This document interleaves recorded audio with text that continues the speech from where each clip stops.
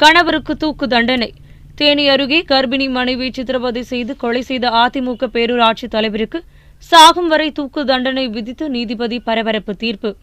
தேனி மாவட்டம் சின்னமனூர் காந்தி நகர் காலனியைச் சேர்ந்த மாரிமுத்து மகன் சுரேஷ் கடந்த இரண்டாயிரத்தி பதினைந்தாம் ஆண்டு இவர் ஹைவேஸில் பேரூராட்சி அதிமுக தலைவராக இருந்தார். இவருடைய மனைவி பத்தொன்பது வயதுள்ள கற்பகவள்ளி என்பவருக்கும் சில ஆண்டுகளுக்கு முன் திருமணம் நடைபெற்றது. இவர்களுக்கு திவ்யா சுந்தரி என இரு பெண் குழந்தைகள் உள்ளனர்.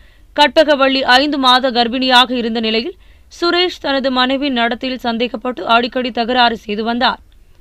கடந்த இரண்டாயிரத்தி பதினைந்தாம் ஆண்டு ஜூலை மாதம் இருபத்தி ஓராம் தேதி தனது மனைவியை தாக்கியது மட்டுமல்லாமல் மார்பு பகுதியில் சிகரெட்டால் சூடு வைத்துள்ளார். மேலும் பிறப்புறுப்பு மற்றும் வயிற்று பகுதியில் பலமாக தாக்கியுள்ளார். இதில் கர்ப்பம் கலைந்துள்ளது மேலும் தாலி கயிற்றால் கழுத்தை இறுக்கியுள்ளார். இதில் இரத்தப்போக்கு ஏற்பட்டு கற்பகவள்ளி மயக்க நிலையை அடைந்தார்.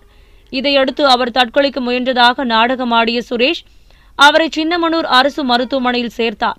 பின்னர் மேல் சிகிச்சைக்காக தேனி அரசு மருத்துவக் கல்லூரி மருத்துவமனையில் அனுமதிக்கப்பட்ட நிலையில் மறுநாள் அவர் உயிரிழந்தார்.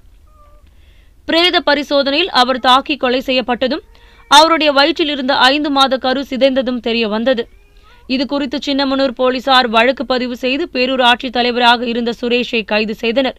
இந்த வழக்கு தேனி மாவட்ட கூடுதல் அமர்வு கோர்ட்டில் நடந்து வந்தது.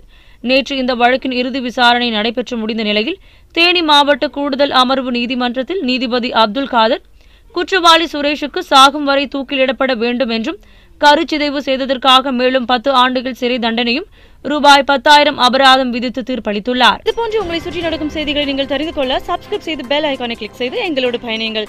மறக்காமல் லைக் ஷேர் கமெண்ட் செய்யுங்கள்.